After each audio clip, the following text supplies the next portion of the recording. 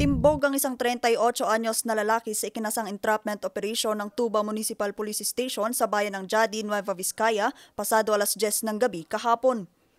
Ang lalaki kasi ang tinuturong suspect sa pagtangay sa isang sasakyan na nakaparada sa barangay Poblasyon Tuba Benguet noong January 23. Um, sa pagkakatanong po namin sa complainant ma'am, hindi po niya kilala pero familiar kasi itong suspect is uh, nagtrabaho din sa may bandang Tupinaw. Um, nagtrabaho doon as a farmer pero um, nung gabi pa nung gabi po nung um, January 22 nawala po siya sabi ng uh, employer niya.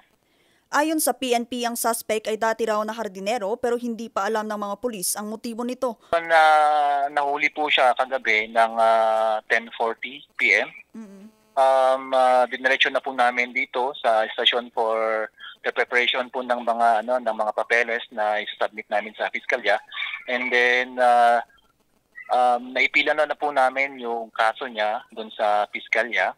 And then um, sa utos po, sa utos po ng uh, uh, Fiscal's Office, mananatili po yung suspect dito po sa station po namin habang linilitis po yung case folder po niya. Ito na ang pangalawang kaso ng carnapping na naitala sa bayan ngayong taon, kaya ang payo nila sa mga motorista, Advice po lang po namin is um, dapat po before nating uh, iwanan yung mga sasakyan natin, make sure po na nakalak, nakalak po lahat. Iwasan po nating uh, maglagay ng mga valuable uh, na items sa loob para hindi makakit ng mga um, uh, mga perpetrators natin.